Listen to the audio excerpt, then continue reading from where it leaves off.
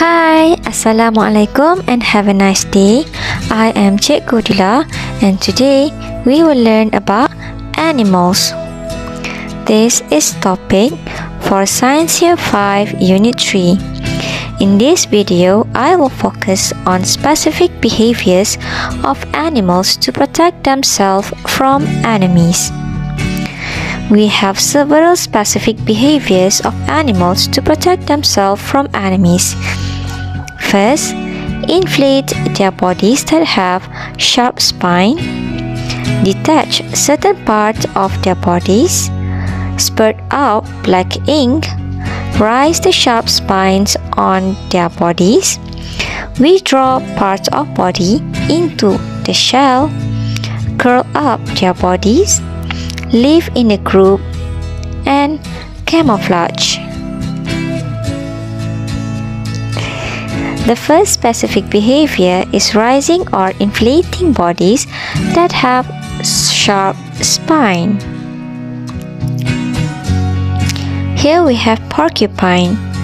When porcupines are in danger, they will rise their sharp spine to scare the enemies.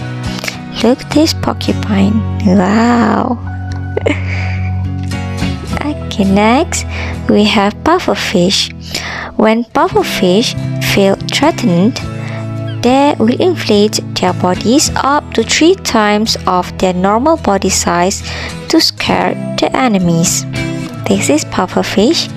Now look some info about porcupine. Porcupine can have up to 30,000 spines on their body and these spines can stick on the skin of the enemies that trying to hurt, catch or touch them. Pufferfish Pufferfish has a deadly poison called tetrodotoxin.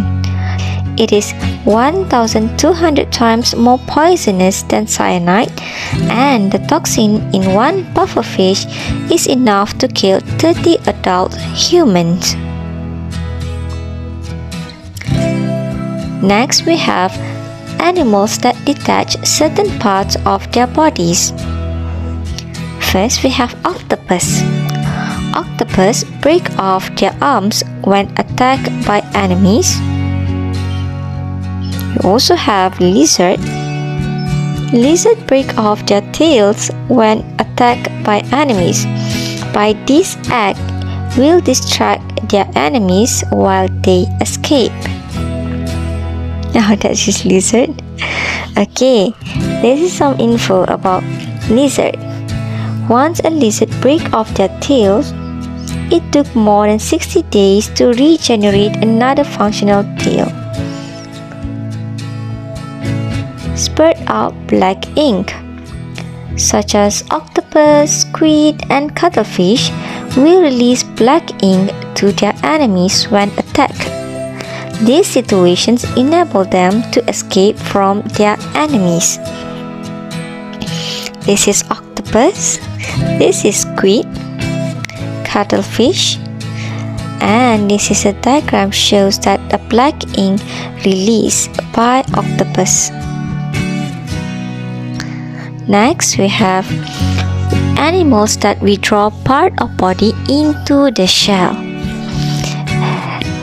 This animal must have shell. So, for example, like snail, turtle, and tortoise will hide their body parts in their shell when disturbed or attacked by enemies.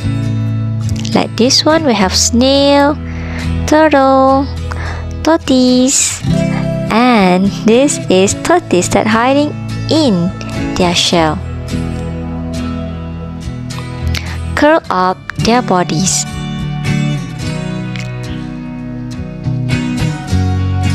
Millipedes and pangolin curl up their bodies to protect themselves from danger. They're also pretending to be dead. By doing this, they could avoid themselves from being disturbed or attacked by enemies. For example, like this one, the pangolin curl up their body, and we have millipedes. Live in a group. Some animals live in a group, so when these animals live in a group, they will move from one place to another place in a group, or we call it as a herd. By living and moving in a group, they can defend themselves together when they being attacked by enemies. For example, we have anchovies, monkeys, elephants, and bees. Camouflage. Wait.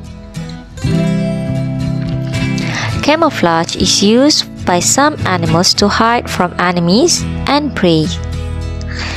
For example, we have chameleons can change their skin color to adapt to the surroundings.